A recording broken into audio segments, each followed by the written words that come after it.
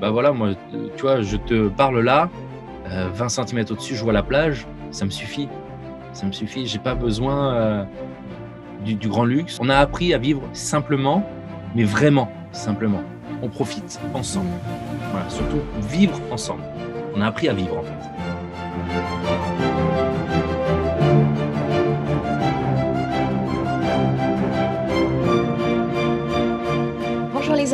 Bienvenue dans Tinalagi, le podcast, l'émission où l'on partage son expérience. Je rencontre des personnes qui m'inspirent et qui peuvent aussi t'inspirer. Mes invités ont changé de vie, ils ont décidé de faire les choses autrement, ils ont pris des risques et ils ont donné plus de sens à leur vie. Alors, ils vont te donner tous leurs conseils, ils vont te parler de leur cheminement. Ça va peut-être résonner en toi et ça va peut-être t'amener à changer. Aujourd'hui, je suis avec Julien Betoul. Julien, bonjour. Bonjour. Alors, Julien, tu es marié avec Marina, tu as trois enfants. Et en fait, vous avez complètement changé de vie. Vous vivez en fait dans un camping-car et donc tu es actuellement dans ton camping-car en famille, donc à cinq. Et vous vivez à Tenerife, alors qu'avant, donc vous étiez en France. Toi, tu étais euh, professeur. Tu nous raconteras un peu tout ça tout à l'heure. Et euh, le changement avait déjà démarré puisque de la France, donc de Vendée, euh, vous étiez parti au Costa Rica et ensuite au Nicaragua et aujourd'hui donc à Tenerife. Et vous êtes en camping-car depuis 2020, donc depuis quelques mois en fait. Et, euh, et du coup, ben, c'est un sacré changement de vivre, euh, de vivre de cette manière-là. Donc déjà, bienvenue à toi dans, dans ce podcast. Est-ce que tu peux me, me raconter ben, comment, comment, voilà, comment vous est venue cette idée de vivre en camping-car? Ça, ça vous vient d'où tout ça? Alors, juste une petite précision, on n'était pas en Vendée, on était dans les Landes, mais c'est pas grave. Ah, d'accord, excuse-moi. pas de problème, pas de problème. Alors, pourquoi on est venu à. En fait, le changement, il a vraiment commencé à opérer quand on est arrivé au Costa Rica. On a connu une famille de youtubeurs très connus euh, dans, leur niche, en fait. Euh, parce que voilà, on avait un point commun sur euh, les élèves, tout simplement, hein, le lycée.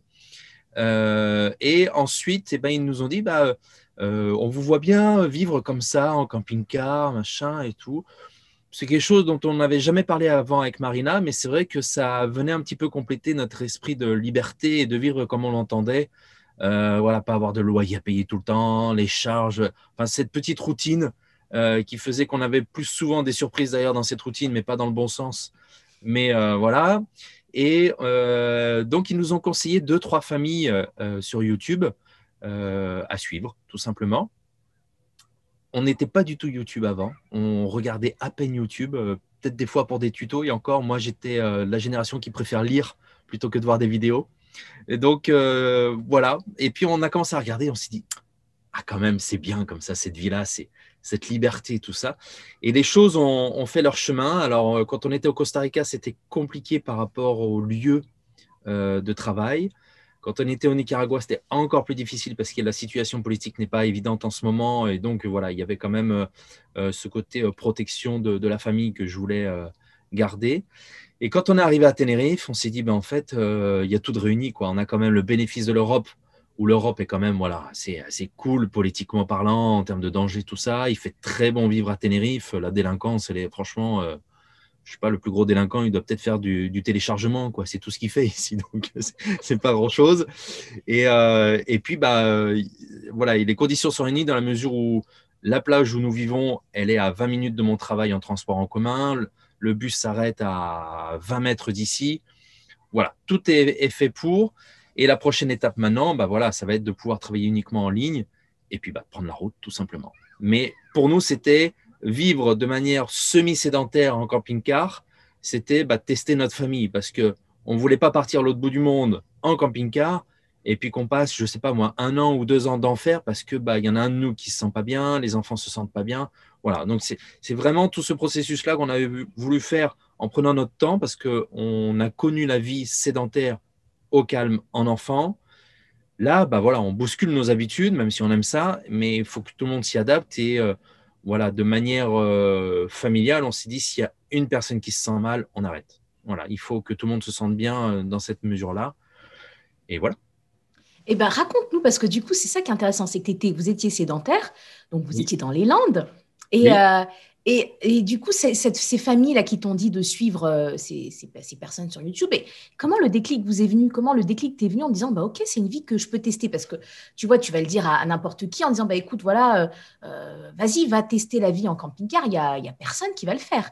Pourquoi vous vous êtes dit, OK, ça peut nous convenir? Oui, c'est une bonne question. surtout que vous avez trois, trois enfants, parce que c'est, on va, on va bien le dire, c'est pas comme si vous êtes deux, vous êtes quand même en famille, hein, une grande famille, on va dire. C'est ça. ça. Alors, la, première étape, je pense, c'est que euh, lorsqu'on vivait, quand on s'est mis ensemble avec Marina, on n'était pas loin de nos familles. Et on a eu, entre guillemets, euh, le courage, si on peut appeler ça comme ça, de partir loin d'eux. C'est-à-dire, on est parti à euh, minimum 500 km d'eux. Donc, ça a déjà été une étape, entre guillemets, d'isolement par rapport à la famille classique, on va dire. Et puis après, le gros décalage, ça a été de partir au Costa Rica parce que euh, on va pas se mentir, mais quand on part dans un pays d'Europe, enfin une fois qu'on a voyagé un peu, bah, franchement, ça dépayse pas énormément de la France, mis à part la langue, voire peut-être le, mode de vie des gens, mais on reste dans, cette atmosphère européenne. Costa Rica, je te garantis qu'on se remet totalement en question, c'est-à-dire que tout devient une épreuve. Euh, aller chercher sa bouteille de gaz, faire les démarches pour l'eau, faire les démarches pour Internet, euh, trouver une voiture, se déplacer, trouver où est-ce qu'il y a un, centre commercial, sachant qu'il faut remettre dans le contexte, il y a encore dix ans, il n'y avait pas de centre commercial au Costa Rica. Donc voilà, c'est plein de choses comme ça qui font que bah, sans s'en rendre compte, on s'est beaucoup remis en question, on s'est mis en danger. Et du coup, euh, euh, les choses ont fait qu'on a évolué sur cette remise en question. Et après, bah, c'est une fois qu'on a commencé à suivre les familles voyageuses sur YouTube, on s'est dit, mais la question, c'est les enfants. Qu'est-ce qui va se passer? La scolarité euh, Est-ce qu'ils vont s'adapter? Et puis au final, bah, quand on discute beaucoup comme ça, on s'aperçoit que les enfants s'adaptent beaucoup plus facilement que nous. C'est une évidence. Euh, je le vois pour la langue. Euh, j'ai ma deuxième, elle était bilingue en trois mois. Enfin, c'était incroyable. Moi qui lutte encore à faire des belles conjugaisons en espagnol, elle, elle me l'a fait en deux minutes. Voilà, c'est tout un ensemble. On se dit, bon, elle s'adapte. Par contre, voilà, on a c'est ce que je disais tout à l'heure, on, préfère être prudent et voir la vie en camping-car, déjà dans un camping-car qui est petit, qui est vieux, enfin qui est petit, qui est petit euh, par rapport au nombre de personnes que nous sommes. Hein. Quand on voit des 7 mètres à côté de nous, bon, pour nous, c'est gigantesque. Vous êtes à combien euh, de mètres, vous? Le vôtre, il fait combien de mètres? Olaf, il s'appelle Olaf. Olaf, Olaf, fait 7 mètres 85. Il fait combien, pardon? 5 mètres 85. Voilà, donc euh, c'est bien à la limite pour commencer parce que j'avais jamais conduit de bahut comme ça. Le plus gros que j'ai conduit, c'était un, camion de déménagement, mais bon, ça fait en général la, taille d'une grosse berline, on va dire. Et, mais là, bon, voilà, il y avait quand même des choses à faire. Et puis, tu sais, c'était le mode de vie. Euh, euh, changer, euh, aller chercher l'eau, vider les eaux, les toilettes, voilà, toutes ces choses-là bah, qui, qui, sont qui se posent pas comme, enfin, toutes ces questions qui se posent pas lorsque tu es en maison, parce que finalement tout est entre guillemets automatisé. L'eau, bah, t'as pas d'effort à faire, euh, t'as pas à aller vider les toilettes, t'as pas, voilà, il y a plein de choses comme ça. Euh, C'est sûr. Que, voilà. Ouais, donc du coup, bah, ça, va, ça va aller sur ma, ma deuxième question. Euh, les, les, les, inconvénients, en fait, les choses que tu n'avais pas pensé euh, avant de vivre en camping-car, les difficultés auxquelles tu as dû faire face, en fait. Alors, les difficultés euh, pour lesquelles on a dû faire face, euh, bon, la, première, c'est que ça reste un mode de vie euh, assez décalé. Et donc, dans la tête des gens, tu n'as pas toujours l'acceptation. Alors, ça peut se faire du côté de la famille. Bon, ça, voilà, c'est tout à chacun. parce que tu es dans un mode de vie différent. Donc, tu vas avoir une certaine, parfois une certaine intolérance. Malheureusement, ça a été notre cas dans notre famille. Ça n'est pas dans d'autres, tant mieux mais voilà, une certaine intolérance vis-à-vis de cette différence de la norme entre guillemets, hein, de, voilà, de, cette mode de vie qui doit être, de ce mode de vie qui doit être ordinaire. Après, euh, justement, ce mode de vie qui n'est pas ordinaire fait que ça peut déranger parfois d'autres qui ont cette vie ordinaire. Et nous avons eu euh, déjà deux, trois fois la police qui est venue toquer à la porte pour voir un petit peu ce qui s'y passait. Ah oui. Euh, ouais, ouais. Bon, après, c'est. comment te dire C'est c'est tu, as les gens, en fait, tu vas, tu vas être confronté dans le milieu du camping-car aux gens qui le font qu'en vacances et les gens qui y vivent.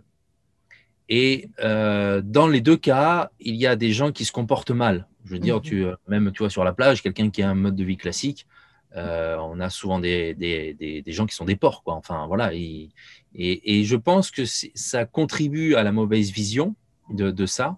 Après, sur le mode de vie, eh ben, euh, ici sur Tenerife, c'est pas trop euh, camping car friendly, tu vois. Il y a il faut, il faut pouvoir se déplacer à certains endroits. Par exemple, sur l'île, tu vas avoir peut-être que trois ou quatre emplacements pour pouvoir vider tes eaux grises et noires. Donc, les eaux grises, tu peux encore te débrouiller. Parce que les eaux grises, c'est quoi alors? C'est euh... Alors, les eaux grises, c'est celles qui sortent de la cuisine. Les eaux noires, c'est les toilettes. D'accord, ok. Euh, alors, cuisine, pardon, et euh, la douche. Voilà, eau et savon, en fait. D'accord. Donc, il okay. Euh, y a une certaine connivence quelque part sur le fait de pouvoir le vider même si c'est pas très bien dans certains terrains.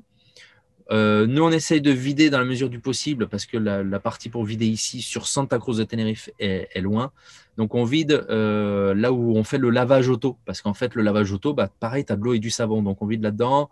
On essaye, tu sais, de prendre du, du liquide vaisselle bio, de, on se lave qu'au savon. Enfin, voilà, il y a tout un ensemble de, de choses à faire. Bon, ça, c'était déjà engagé là-dedans. Et puis, pour les eaux noires, eh ben, on est passé aux toilettes sèches. Et ça, c'est une difficulté parce que adapter les enfants aux toilettes sèches, c'est compliqué. Hmm. Et alors? Ça va, elles se, se sont adaptées oh, non, Oui, il n'y a pas de ouais. problème. Oh là là. Non, non, c'est, on est, au final, on voit que c'est quand même l'adulte qui a plus de mal à, ouais. à s'adapter que, que l'enfant. L'enfant, ouais. Parce qu'elles elles ont quel âge Tu peux nous dire? Parce que bon, pour juste que tout le monde, les, que nos, les personnes qui nous regardent euh, sachent, parce qu'elles sont jeunes. Hein. Oui, oui. La grande est de 2010, donc 10 ans. Euh, la deuxième de 2013, donc 7 ans, et la dernière de 2015, donc 5 ans. 5 ans, voilà. Donc, euh, trois, trois, jeunes, trois petites filles qui euh, oui. ont la belle vie à, à, près de la mer. D'ailleurs, bah, juste pour que, parce qu'on n'a pas pu le dire, donc toi, du coup, tu es professeur à Tenerife, en lycée français. Oui. Et, euh, et, Marina, elle, elle s'occupe des enfants et en même temps, elle, elle, elle commence à être nomade digitale. Voilà, elle fait les, pour nous, elle s'occupe pas mal des réseaux sociaux, donc les publications Facebook, Instagram. Euh, elle fait les vidéos pour euh, YouTube. Et puis moi, de mon côté, voilà, en plus de professeur, je donne des cours particuliers, je fais des sites internet et là, je commence à me former un petit peu sur les applications. Donc voilà, on a, on a un mode de vie très occupé. Non, mais c'est super pour préparer l'avenir. Voilà, on prépare voilà. tout ça. Et le but, c'est de travailler 100% en ligne et on n'est pas issu à la fois de l'esprit du, du, travail en ligne, mais ni dans des formations qui se travaillent en ligne. Donc, du coup, euh, il faut se remettre en question, se former, et voilà, on est pour l'instant dans ce processus-là. Bah, Profites-en pour nous montrer un petit peu, alors, euh, comme on était un, un petit ouais. peu, euh, euh, montre-nous un petit peu la mer, là, parce que tout à l'heure, tu me l'as montré en off. Donc, on a le lit de la grande et de la petite qui est ici, là, dans, sur la, ouais. la capucine. Oui. On a le poste de conduite qui est ici, qui sert de, de rangement, hein, de, enfin de. Ça veut dire quoi le poste de conduite? C'est-à-dire euh... C'est là où il y a le volant. Ah et, euh, oui et, euh, le, le, passager, tu vois. D'accord, ok. Donc tu enlèves tout ça pour conduire, c'est ça hein?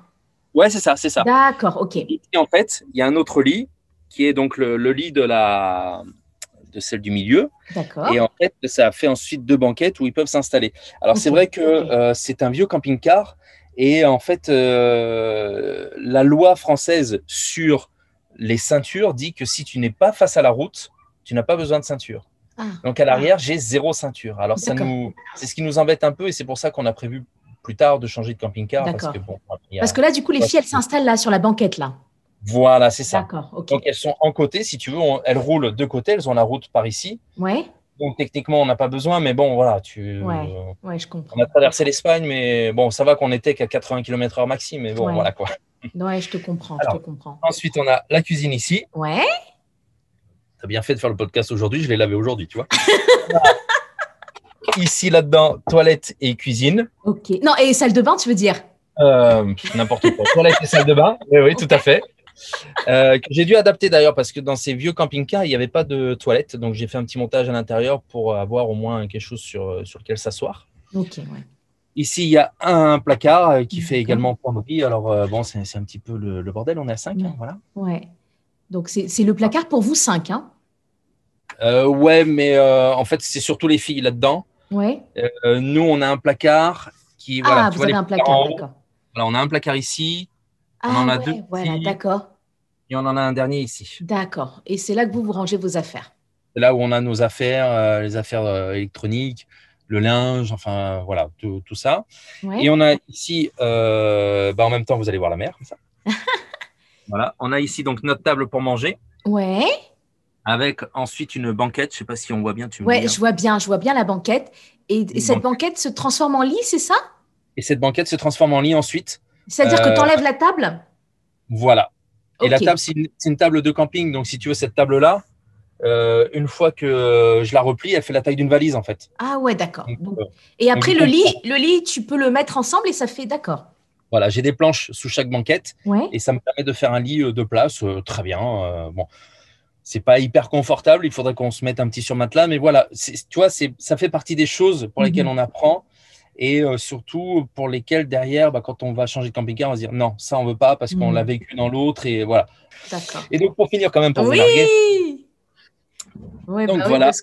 Oh, et là, attends, donc là du coup on voit, waouh. Alors ce qui est bien, c'est que cette plage, c'est une plage complètement artificielle. Hein. Il n'y a pas de sable blanc ici. La petite histoire, c'est qu'en fait, à la base, ce sont que des galets. Et en fait, on a ce qu'on appelle euh, la kalima qui vient ici. C'est en fait un vent qui vient du Sahara et qui amène du sable constamment ici.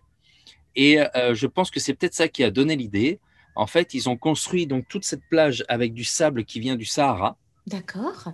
Et en fait, on a, c'est la seule sable, euh, la seule plage de sable classique sur Tenerife. Sinon, c'est que du sable noir. Enfin, ah, d'accord. parce qu'ici, c'est c'est volcanique. Ah, c'est génial. Bon, alors en tout cas, là, tu nous montres, tu nous montres les, les avantages, du coup, les avantages de cette vie en camping-car, justement. Ah bah, c'est, mais, mais la maturité des enfants, elle, elle se décuple parce que bah, elles vivent une vie euh, vraiment, euh, elles vivent vraiment la vie, quoi. C'est pas l'école, c'est pas ensuite euh, rentrer à la maison, s'abrutir sur la télé. Et on a réussi à développer ça sur nos filles, c'est-à-dire qu'elles aiment lire, elles aiment les vidéos aussi, mais elles aiment lire et, euh, et, les jouets, bah ouais, c'est bien pour jouer, mais bon, voilà, j'ai les livres, quoi. J'apprends tellement de choses avec les livres que je veux continuer. Et c'est ce que l'on cherche, si tu veux, qu'elles aient une, une, vision du monde, euh, pas sectaire de, de, personnes qui ne seraient pas parties ou, ou, qui sortent de son village que pour aller voir le médecin ou le coiffeur, tu vois. Et puis après, les autres avantages, eh ben, c'est tout simplement qu'on a un super grand jardin, quoi, et qu'il n'y a pas à l'entretenir, celui-là. le climat, il, est, euh, il pleut dix jours par an ici. Ouais, donc, c'est agréable. Même moi qui n'étais pas à, me baigner beaucoup, euh, je me suis vraiment baigné quand on est allé au Costa Rica et Nicaragua parce qu'on était Pacifique ou mer des Caraïbes. Donc là, tu ne baignes même pas. En fait, tu rentres euh, dans de l'eau. Elle est quasiment à la même température que l'extérieur. Donc c'est formidable. Si tu te rafraîchis même pas en fait quand tu vas là-bas. Là, ici, ça reste l'Atlantique, donc il faut quand mhm. même. Euh, voilà. Mais je me baigner euh, sans problème, c'est super agréable. Quoi. Et, pour, euh, et pour toi, alors, à part le jardin, qu'est-ce que, qu'est-ce que toi, ça t'apporte? On a vraiment un sentiment aujourd'hui de liberté. J'ai quand même la chance d'avoir encore mon, mon job. Donc, eh ben, financièrement, bah, tu t'y retrouves. Hein. Tu n'as plus de loyer, tu n'as plus de charges. Nous, l'électricité, elle est gratuite. L'eau, alors l'eau ici, tu peux l'avoir en gratuit, mais on l'avait fait une fois. Et vu le regard des gens, on a arrêté, on, on, va à la station-service et on remplit avec de l'eau. Euh, tu sais, c'est les bornes pour, euh, pour gonfler les pneus. Et ben, en même temps, il y a un, compresseur pour euh, te, donner de l'eau. Donc, ça fait, pour un euro, on a à peu près 45 litres. Donc, voilà. D'accord. Et, surtout, on fait les choses clean et c'est pas on profite d'un système ou on profite de quoi que ce soit. Non, on fait nos courses. On va chercher de l'eau que l'on paye. L'électricité, elle est gratuite parce qu'on a le panneau solaire. On a, voilà, euh, et, est-ce qu'on peut, euh, en termes d'inconvénients de cette vie-là, qu'est-ce que toi tu vois en termes d'inconvénients? Est-ce que la promiscuité peut être un inconvénient ou le manque d'affaires? Enfin, c'est quoi pour toi les inconvénients finalement de, cette vie en camping-car? Pour moi, alors le gros inconvénient pour moi, c'est que je fais 1m80 dans un truc qui ne fait pas 1m80. non, c'est vrai. Avoir une bosse sur la tête. Voilà. Tu, bah, tu vois cette partie-là, là, ouais. elle fait pile poil 1m80. Et après, derrière, ça monte. Donc là, on passe à peu près à 1,90. Donc ça va. Mais moi, je fais 1m81. Donc si je me tiens droit, je boum, voilà, ça, je me cogne. Donc ça, j'en ai marre. Ouais. c'est pour ça que plus tard, on va plus haut. Voilà. mais euh, après, je dis ça avec humour, mais voilà, on, s'habitue, on, se voûte un peu. Moi, déjà, je ne tiens pas très bien, donc c'est pas voilà. Mais euh, les inconvénients, bah, c'est tu as euh, tu as quand même pensé à aller chercher l'eau. On est quand même cinq, donc bah, tu as la vaisselle, les douches Et encore, la douche, on peut la prendre sur la plage. Donc, tu as, quand même une consommation d'eau qui est récurrente. Donc, le soir, des fois, après euh, le boulot, il faut aller chercher l'eau. Euh, il faut penser à vider les toilettes. Voilà, on est cinq. Donc, les toilettes, un seau à cinq, c'est fait. quoi. Euh, c'est tous les jours. Voilà, c'est des choses comme ça auxquelles il faut penser. et puis, bah, tu as toujours un petit entretien. C'est une maison. Hein. Donc, euh, voilà, euh, il y a une vis qui tient plus, il y a un truc qui est tombé, il faut, il faut réparer. Mais on est bien rétabli. Alors, on va pas se mentir, ici, on avait un loyer de 650 euros, on l'a plus. Mhm. On avait 150 euh, euros de charges par mois, on les a plus. Voilà. Internet aujourd'hui, l'intérêt c'est qu'on a la 4G qui passe partout. Donc, ben, avec le téléphone, je suis en train de t'appeler là, tu vois, on se parle grâce à ça. Je suis sur Internet grâce à ça. Je suis en 4G+. Bah voilà, je suis à la vitesse de la fibre, quoi. Je suis quasiment en 100 mégas. Donc, voilà, franchement, un inconvénient, euh, mis à part peut-être le côté un peu vieillot où tu dis, bah, quand même, on va pouvoir profiter quand on changera et qu'on aura un truc adapté à nous. Voilà. Mais d'un autre côté, moi, je suis un angoissé, si tu veux, sur, euh, sur l'argent. là, comment je vais faire? Parce que ça nous arrivait de ne pas avoir à manger certains jours. Et du coup, voilà, ça m'est resté. Et, de hum, voilà, d'être aujourd'hui à me dire, bah, finalement, il me reste de l'argent à la fin du mois et ça nous permet de, de nous remettre bien et de même de mettre de côté pour pouvoir s'acheter un autre, bah voilà, pour moi, c'est bon. Il n'y a, même plus, euh, a même plus d'inconvénients à mes yeux, tu vois. Ah oui, d'accord. Ouais, voilà. Ouais, bah, ça, c'est super. Et la promiscuité, non, c'est pas un souci. Et euh, les, les, affaires alors, les affaires, euh, c'est vrai que, franchement, ce serait sympa. Voilà, on va pas se mentir.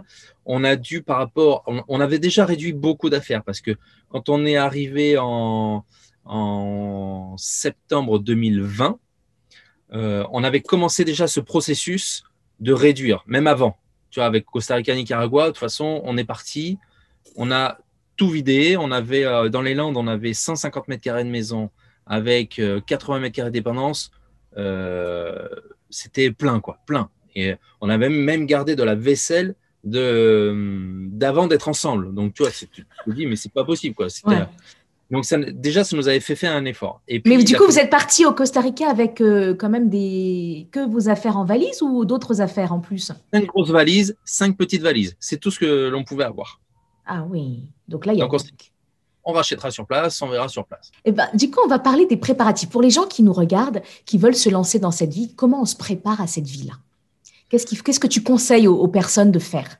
Si elles veulent se lancer, vivre dans un camping-car, que ce soit à Tenerife ou ailleurs, dans le monde ou en France ou n'importe où, tu vois Qu'est-ce que tu leur conseilles de faire? Et comment savoir déjà si c'est fait pour elles et euh, comment se lancer? Parce qu'on a beaucoup de peur, on se demande, tu vois, si on peut y vivre. Voilà, comment se lancer?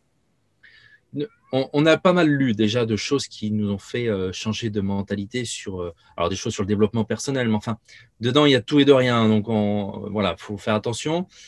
Et euh, moi, j'ai surtout travaillé sur l'aspect économique avec des livres très importants pour nous, comme le livre de Robert Kiyosaki, Père riche, Père pauvre. Il y a aussi La semaine de 4 heures, où en fait, tu t'aperçois qu'on peut rentabiliser son temps en travaillant moins. Et alors, moi, je ne suis pas trop un exemple parce qu'en ce moment, je travaille beaucoup, mais euh, ça te permet d'aborder, si tu veux, l'aspect économique d'une manière différente.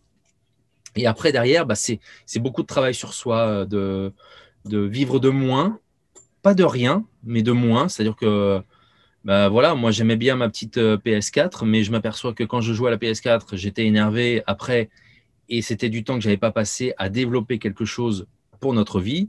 Donc, j'ai arrêté. Voilà. Par contre, euh, quand j'ai du temps pour moi, bah, j'aime bien passer un peu de temps sur les réseaux sociaux, euh, lire un bouquin, euh, voilà, des choses comme ça. En fait, on change un petit peu notre mode de fonctionnement, mais il faut, faut, faut, être capable de se remettre en question. Je crois que c'est ça le, gros truc, c'est se remettre en question. Est-ce que ton mode de vie est compatible à ça? Voilà, moi, je vois des fois des, familles où le couple est obligé de faire chacun son activité. Nous, non. Nous, on est euh, très fusionnel et, euh, même euh, qu'il n'y en ait qu'un qui aille chercher de l'eau, ben, l'autre est pas bien. Quoi, tu vois Donc, c'est, on, est, on est très fusionnel et on s'entend bien et on vit bien ensemble. Et pareil avec les enfants. Il y en a qui ont besoin d'avoir une distance avec les enfants. Bah non, les enfants sont là, ils jouent. Oui, ils ont leur petit moment où ils jouent eux ensemble. Mais voilà, on n'est pas, on n'a pas besoin que l'autre s'en aille en fait. Voilà, on vit très bien ensemble et c'est c'est aussi ça qui nous, qui nous a permis d'y arriver, parce qu'il y a, il y a une réflexion là-dessus à faire. Mm. Il faut en être capable, c'est-à-dire est-ce qu'on est capable de pouvoir faire l'école à la maison euh, euh, Tout le monde n'en est pas capable non plus. Et puis, comme je faut, faut savoir se le dire.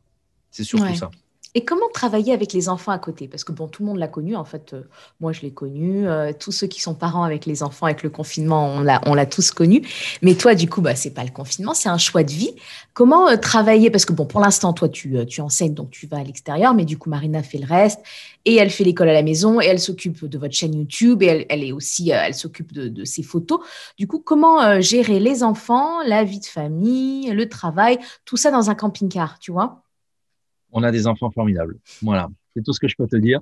Euh, ça aurait été impossible en maison. Euh, c'est aujourd'hui beaucoup plus facile. C'est-à-dire que déjà, nous, on va se faire un emploi du temps en fonction d'elles. On insiste beaucoup pour qu'il y ait un temps de repos la journée, qui est pour nous obligatoire après, euh, après le repas. elles ont la chance de pouvoir encore faire la sieste, qu'elles en profitent. On aimerait tous pouvoir faire la sieste après manger.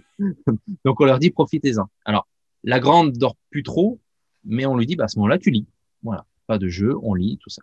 Donc pendant ce top cam, ça permet à Marina parfois de travailler. Le matin, évidemment, elle se consacre un peu aux, filles pour l'école.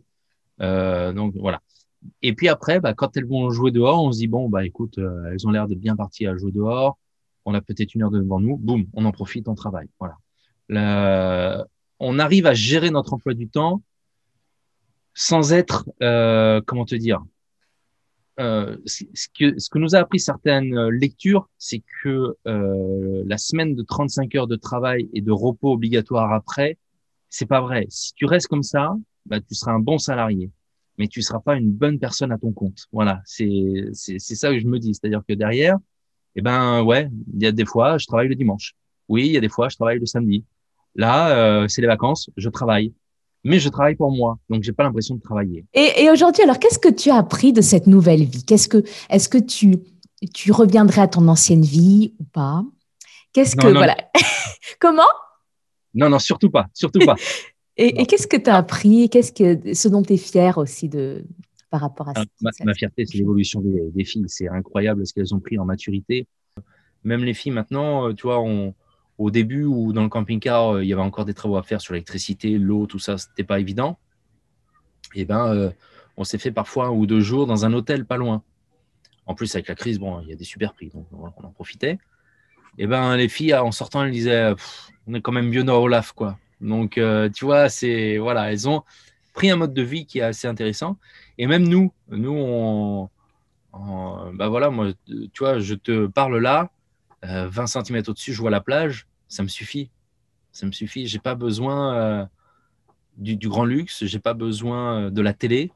On a arrêté la télé, ça, ça a été un, élément extrêmement déclencheur. et voilà, c'est juste, on a appris à vivre simplement, mais vraiment simplement. C'est-à-dire pas simplement où je vais acheter tel truc pour me faire du bien dans ma tête, et puis en fait à côté, je vais faire n'importe quoi. Non, non, c'est voilà, on vit simplement, on fait des erreurs, c'est clair, mais on profite ensemble. Mm. Voilà, surtout vivre ensemble. On a appris à vivre en fait, pour mm. moi. Ah, tu as appris à vivre, c'est joli ce que tu ah dis. Ah bah oui, parce que tu, tu vois, le, les week-ends, euh, bah avant, qu'est-ce que tu faisais le week-end bah, Tu es tellement crevé de ta semaine, tu es affalé, tu regardes ta télé, tu, tu joues à la console, puis voilà. Là, comme on est euh, dans un espace clos, petit, alors on, peut très bien passer du temps ici, hein, ça, va, mais on a besoin d'extérieur quand même. Eh ben, euh, on va se balader sur la plage, euh, on va boire un verre dans un, dans un restaurant. Mais on est toujours tous ensemble, tu vois, et du coup, on a l'impression de plus profiter. Ouais. Eh ben, écoute, merci beaucoup, Julien, pour cette ah, superbe non, cette superbe conversation, franchement, euh, j'ai appris énormément de choses et je pense que toutes les personnes qui nous regardent vont apprendre beaucoup de choses sur cette vie, euh, on va dire, euh, qui, qui, et surtout les personnes qui ont envie de vivre, de découvrir le camping-car et de d'y vivre, parce que, comme tu dis, c'est c'est une, une, autre façon de faire, une autre façon de penser, et ça découle d'un cheminement. C'est ce que moi je vois, c'est que ça découle d'un cheminement. C'est évident. Tu ne peux pas passer de l'un à l'autre sachant qu'on est tous bridés, entre mm. guillemets, dans un mode de vie bien particulier. Il faut avoir euh, son travail, sa maison, emprunter la maison, sa voiture, euh, ses enfants, ses chiens, machin. Nous, on s'est jamais senti à l'aise là-dedans. Donc, du coup, euh, d'avoir trouvé cette porte-là de sortie aussi. Hein. C'est vraiment faire sa vie. Voilà. Mm. Ça, c'est important. Eh ben, on, va on va finir sur ces, sur ces mots, justement, de faire sa vie, de choisir sa vie. Et donc, euh, bah, je te souhaite euh, bah, une belle, belle, de belles aventures. De toute façon, on se tient au courant. Au courant, on est en contact. Il y a les réseaux qui nous suivent. Donc, voilà. Et eh ben, écoute, on est tous les jours dessus. Ouais, bah, à bientôt, Julien. Et, ouais, merci encore. Merci.